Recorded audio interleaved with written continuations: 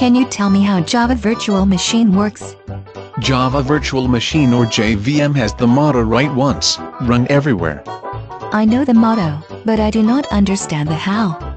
Because Java Virtual Machine compiles code at real time, also known as just-in-time compilation, you see slightly slower execution.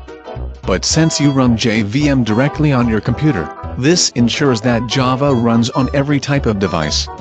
And generates just as many errors too. JVM creates a runtime instance every time you start a Java application.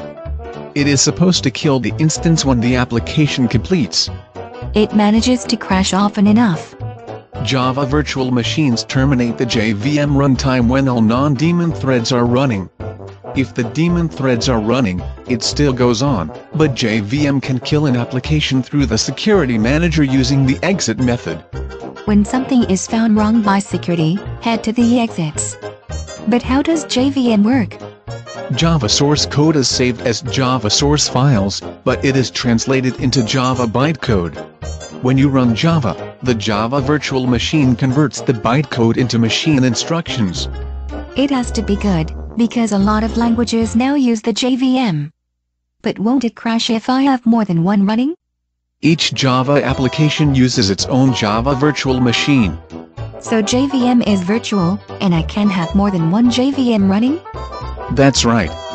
So I could have lots of different types of applications using JVM, and it won't error out. No more than usual. There are several versions of JVM too, though the most common version of JVM was written by Oracle, its creator. So JVM is an execution method for any language that is written to use it.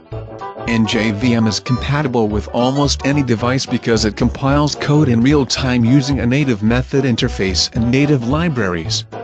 It's a code translator. That's a fair way of looking at it.